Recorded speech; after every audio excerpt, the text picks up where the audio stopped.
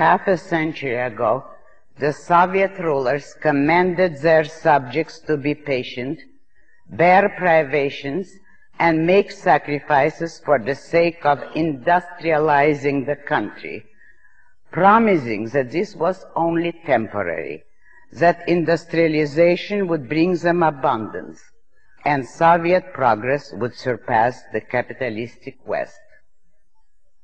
Today, Soviet Russia is still unable to feed her people, while the rulers scramble to copy, borrow, or steal the technological achievements of the West. Industrialization is not a static goal. It is a dynamic process with a rapid rate of obsolescence.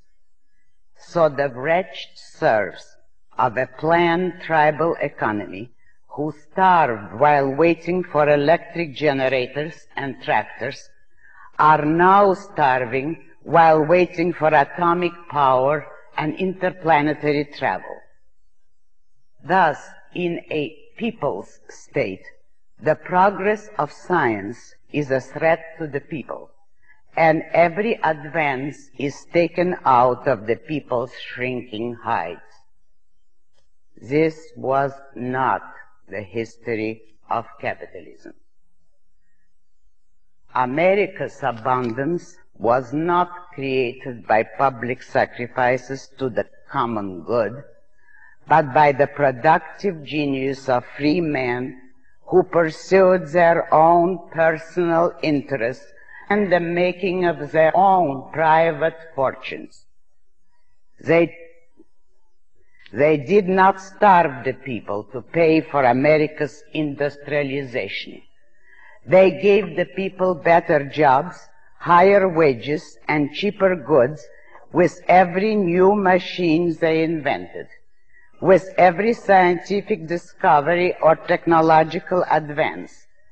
And thus the whole country was moving forward and profiting, not suffering every step of the way. Do not, however, make the error of reversing cause and effect. The good of the country was made possible precisely by the fact that it was not forced on anyone as a moral goal or duty. It was merely an effect. The cause was a man's right to pursue his own good. It is this right not its consequences, that represents the moral justification of capitalism. But this right is incompatible with the intrinsic or the subjective theory of values, with the altruist morality and the tribal premise. It is obvious which human attribute one rejects when one rejects objectivity. And in view of capitalism's record, it is obvious against which human attribute the altruist morality and the tribal premise stand united. Against man's mind, against intelligence, particularly against intelligence applied to the problems of human survival that is productive ability. While altruism seeks to rob intelligence of its rewards by asserting that the moral duty of the competent is to serve the incompetent and sacrifice themselves to anyone's need, the tribal premise goes a step further. It denies the existence of intelligence and of its role in the production of wealth. It is morally obscene to regard wealth as an anonymous tribal product and to talk about re redistributing it. The view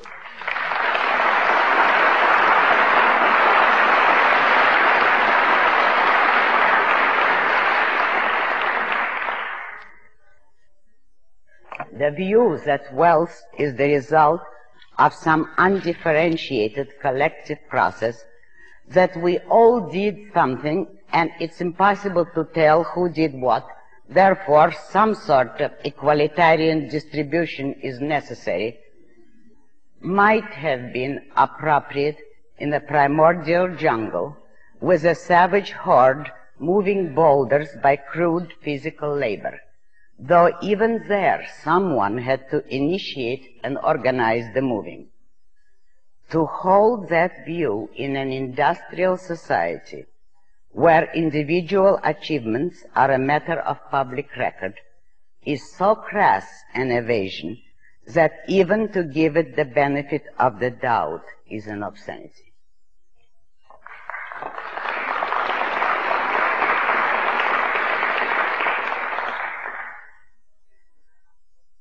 Observe how seldom and how inadequately the issue of human intelligence is discussed in the writings of the tribal statist altruist theoreticians. Observe how carefully today's advocates of a mixed economy avoid and evade any mention of intelligence or ability in their approach to political economic issues, in their claims, demands, and pressure group warfare over the looting of the, quote, total social product, close quote. It is often asked, why was capitalism destroyed in spite of its incomparably beneficent record? The answer lies in the realm of philosophy. Capitalism could not survive in a culture dominated by mysticism and altruism.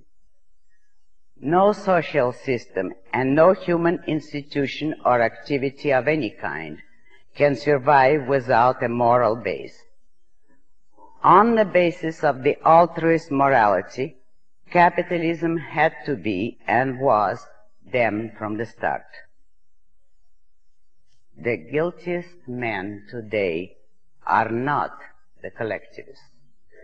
The guiltiest men are those who, lacking the courage to challenge mysticism and altruism, attempt to bypass the issues of reason and morality and attempt to defend the only rational and moral system in mankind's history, capitalism, on any grounds other than rational and moral. Thank you.